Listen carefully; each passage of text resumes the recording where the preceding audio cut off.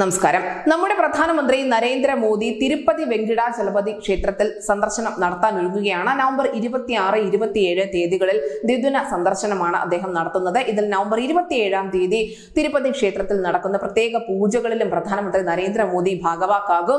അദ്ദേഹത്തെ സ്വീകരിക്കുന്നതിന് വേണ്ടി വളരെ ശക്തമായ വിപുലമായ ഒരുക്കങ്ങളാണ് ആന്ധ്രാപ്രദേശ് നടത്തിക്കൊണ്ടിരിക്കുന്നത്. പ്രത്യേകിച്ചും ഈ തിരുപ്പതി ക്ഷേത്ര പരിസരത്ത് മികച്ച സുരക്ഷ ഉൾപ്പെടെ ഉറപ്പുവരുത്തുന്നുമുണ്ട്.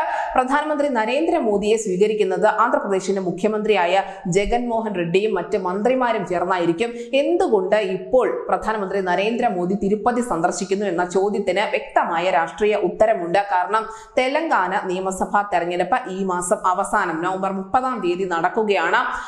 ഇതിന് മുന്നോടിയായി അദ്ദേഹം അവിടെ എത്തുമ്പോൾ ആന്ധ്രാപ്രദേശിൽ എത്തുമ്പോൾ ഇത് തീർച്ചയായും തെലങ്കാനയിലെ വോട്ട് കൂടി നോട്ടമിട്ടുകൊണ്ടാണ്. അത് മാത്രമല്ല ആന്ധ്രാപ്രദേശിലും ഇലക്ഷൻ സംജാതമായിരിക്കുകയാണ്.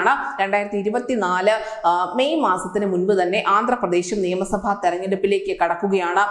ഈ ഒരു സന്ദർഭത്തിൽ ഇപ്പോൾ ആന്ധ്രാപ്രദേശ് ഭരിക്കുന്ന വൈ എസ് ആർ കോൺഗ്രസിന്റെ ചില രാഷ്ട്രീയ നീക്കങ്ങൾ ശ്രദ്ധിക്കേണ്ടതുണ്ട്. നമുക്കറിയാം രണ്ടായിരത്തി പത്തൊൻപതിലാണ് വൈ എസ് ജഗൻമോഹൻ റെഡ്ഡി ആന്ധ്രാപ്രദേശിന്റെ മുഖ്യമന്ത്രി കസേരയിൽ ഇരുന്നത്.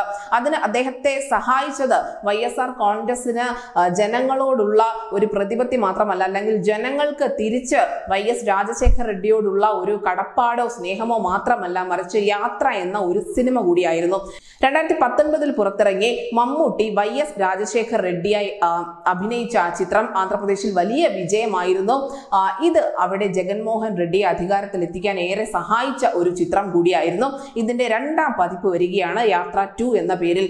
യാത്രയുടെ ആദ്യ ഭാഗത്ത് വൈ എസ് രാജശേഖർ റെഡ്ഡിയുടെ കഥയായിരുന്നു പറഞ്ഞു പോയതെങ്കിൽ യാത്ര ടൂവിൽ മകനായ വൈ എസ് ജഗൻമോഹൻ റെഡ്ഡിയുടെ കഥയാണ് ചിത്രം പറയുന്നത്. തീർച്ചയായും സിനിമയും രാഷ്ട്രീയവും ഒക്കെ നമ്മുടെ പൊളിറ്റിക്സിൽ പ്രത്യേകിച്ചും ദക്ഷിണേന്ത്യയിൽ എത്രത്തോളം ഇടകലർന്നാണ് നിൽക്കുന്നതെന്ന് നമുക്കറിയാം. അതുകൊണ്ട് തന്നെ അടുത്ത നിയമസഭാ തെരഞ്ഞെടുപ്പിന് മുന്നോടിയായി തന്നെ ഫെബ്രുവരി രണ്ടാം തീയതിയാണ് യാത്ര ടൂവിന്റെ റിലീസ് നിശ്ചയിച്ചിരിക്കുന്നത്. ഇതൊക്കെ വലിയ രീതിയിൽ ആന്ധ്രാപ്രദേശിലെ ജനങ്ങളെ സ്വാധീനിക്കും.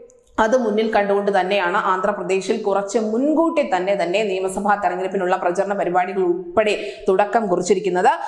എന്തായാലും നവംബർ ഇരുപത്തി അഞ്ച് ഇരുപത്തി ആറ് ഇരുപത്തി ഏഴ് തീയതികളിൽ തെലങ്കാനയിൽ സംഘടിപ്പിക്കുന്ന തെരഞ്ഞെടുപ്പ് റാലികളിൽ ഉൾപ്പെടെ പ്രധാനമന്ത്രി നരേന്ദ്രമോദി സംസാരിക്കുന്നുണ്ട്. അങ്ങനെ ആന്ധ്രാപ്രദേശും തെലങ്കാനയും അത്ര പെട്ടെന്നൊന്നും വിട്ടുകൊടുക്കാൻ ബി ജെ പി തയ്യാറാവില്ല. അവിടെ ഇപ്പോൾ ബി ജെ പിക്കുള്ള ക്ഷീണം ഈ സമയപരിധിക്കുള്ളിൽ മറികടന്നുകൊണ്ട് ആന്ധ്രാപ്രദേശ് നിയമസഭാ തെരഞ്ഞെടുപ്പിനെ വളരെ ഗൗരവതരമായി തന്നെ ബി ജെ പിയുടെ കേന്ദ്ര നേതൃത്വം കാണുന്നുണ്ട് എന്നതിന്റെ ഏറ്റവും ഒടുവിലത്തെ ഉദാഹരണമാണ് അദ്ദേഹത്തിന്റെ തിരുപ്പതി ക്ഷേത്ര സന്ദർശനം.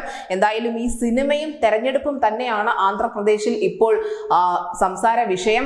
അവിടുത്തെ നിയമസഭാ തെരഞ്ഞെടുപ്പിൽ ഏതൊക്കെ പാർട്ടികൾ ലീഡ് ചെയ്യും അല്ലെങ്കിൽ ജഗൻമോഹൻ റെഡ്ഡി അധികാരം നിലനിർത്തുമോ മറ്റൊന്ന് യാത്ര ടു എന്ന ചിത്രത്തിന്റെ വിജയം തുടങ്ങി നിരവധി കാര്യങ്ങൾ ഇപ്പോൾ ആന്ധ്രാപ്രദേശിന്റെ രാഷ്ട്രീയ ഭൂമികയിൽ ചർച്ചയാവുന്നുണ്ട്.